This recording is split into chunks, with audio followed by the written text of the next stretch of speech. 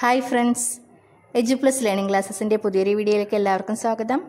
ഈ വീഡിയോയുടെ പ്രത്യേകത എന്ന് പറയുന്നത് ഇത് ഞാൻ ചെയ്യുന്നത് കൊറോണ വാർഡിൽ ഇരുന്നുകൊണ്ടാണ് വെറുതെ ഇരിക്കാൻ പറ്റാത്തത് കൊണ്ട് ഒരു പത്ത് ക്വസ്റ്റ്യൻ ഇടാമെന്ന് വെച്ചിട്ടാണ് ഞാനിത് ചെയ്യുന്നത്. എല്ലാവരും ഒന്ന് സപ്പോർട്ട് ചെയ്യുക പിന്നെ എന്റെ കണ്ണിന്റെ പ്രോബ്ലം പൂർണമായും മാറിയിട്ടില്ല. അതുകൊണ്ട് തന്നെ മറ്റൊരു ടീച്ചർ ടൈപ്പ് ചെയ്ത് തന്നത് ഞാൻ വായിക്കുക മാത്രമാണ് ചെയ്യുന്നത്.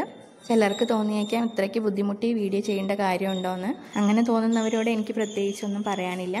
അപ്പം നമുക്ക് നോക്കാം ഇതിൽ എന്തൊക്കെ ക്വസ്റ്റ്യൻസ് ആണ് ഉൾപ്പെടുത്തിയിട്ടുള്ളതെന്ന്. ആദ്യത്തെ ക്വസ്റ്റ്യൻ ആണ് കർവ് ഓഫ് ഫോർഗെറ്റിംഗ് ആവിഷ്കരിച്ചത് ആര്? എബിങ്കോസ് കർവ് ഓഫ് ഫോർഗെറ്റിംഗ് ആവിഷ്കരിച്ച വ്യക്തിയാണ് Ebbinghaus രണ്ടാമത്തേതാണ് theory of connectionism theory of connectionism ആവിഷ്കരിച്ച വ്യക്തിയാണ് തോണ്ടേക്ക്.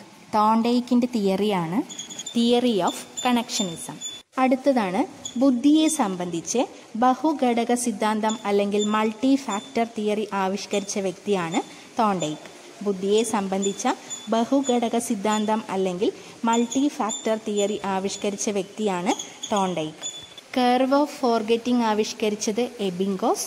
തിയറി ഓഫ് കണക്ഷനിസം കൊണ്ടുവന്നത് തോണ്ടൈക്ക് ബുദ്ധിയെ സംബന്ധിച്ച ബഹുഘടക സിദ്ധാന്തം അല്ലെങ്കിൽ മൾട്ടി ഫാക്ടർ തിയറി കൊണ്ടുവന്ന വ്യക്തിയാണ് തോണ്ടൈക്ക് അടുത്ത ക്വസ്റ്റ്യൻ ആണ്.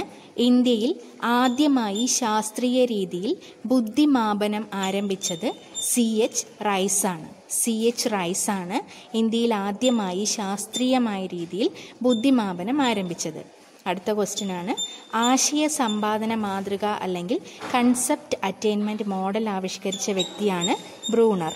അടുത്ത ക്വസ്റ്റ്യൻ പഠനത്തിൽ ശ്രമ പരാജയ പഠന സിദ്ധാന്തം അല്ലെങ്കിൽ ട്രയൽ ആൻഡ് എറർ തിയറി കൊണ്ടുവന്ന വ്യക്തിയാണ് തോണ്ടൈക്ക് ഇന്ത്യയിൽ ആദ്യമായി ശാസ്ത്രീയ രീതിയിൽ ബുദ്ധിമാപനം ആരംഭിച്ച വ്യക്തിയാണ് സി എച്ച് റൈസ്. ആശയ സമ്പാദന മാതൃക അല്ലെങ്കിൽ കൺസെപ്റ്റ് അറ്റൈൻമെന്റ് മോഡൽ കൊണ്ടുവന്നത് ബ്രൂണറാണ് പഠനത്തിൽ ശ്രമ പരാജയ പഠന സിദ്ധാന്തം അല്ലെങ്കിൽ ട്രയൽ ആൻഡ് എറർ മെത്തേഡ് കൊണ്ടുവന്നത് തോണ്ടൈക്കാണ് അടുത്ത question theory of classical conditioning അല്ലെങ്കിൽ അനുബന്ധ സിദ്ധാന്തത്തിന്റെ ഉപജ്ഞാതാവാണ് Pavlov. Theory of classical conditioning അല്ലെങ്കിൽ അനുബന്ധ സിദ്ധാന്തത്തിന്റെ ഉപജ്ഞാതാവാണ് പാവ്ലോ. അടുത്ത ചോദ്യം. ബുദ്ധിയുടെ ദ്വിഘടക സിദ്ധാന്തം ആവിഷ്കരിച്ച വ്യക്തിയാണ് സ്പിയർമാൻ. ബുദ്ധിയുടെ ദ്വിഘടക സിദ്ധാന്തം ആവിഷ്കരിച്ചത് സ്പിയർമാൻ. അടുത്ത ചോദ്യം. മറവിയെക്കുറിച്ച് ആദ്യമായി വ്യവസ്ഥാപിതമായ പഠനം നടത്തിയത് എബിങ്കോസ് ആണ് മറവിയെക്കുറിച്ച് ആദ്യമായി വ്യവസ്ഥാപിതമായ പഠനം നടത്തിയ വ്യക്തിയാണ് എബിങ്കോസ്. അനുബന്ധന സിദ്ധാന്തത്തിന്റെ ഉപജ്ഞാതാവാണ് പാവ്ലോ.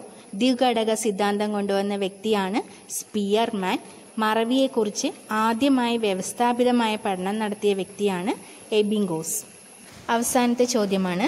സൂചനാ സിദ്ധാന്തത്തിന്റെ ഉപജ്ഞാതാവാണ് ഇ സി ടോൾമാൻ.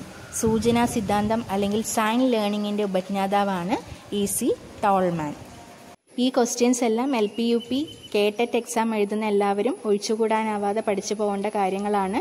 അവർക്കെല്ലാം ഉപകാരപ്രദമായെന്ന് കരുതുന്നു. നിങ്ങളുടെ എല്ലാവരുടെയും സപ്പോർട്ട് കൂടെ ഉണ്ടാവുമെന്ന് കരുതുന്നു.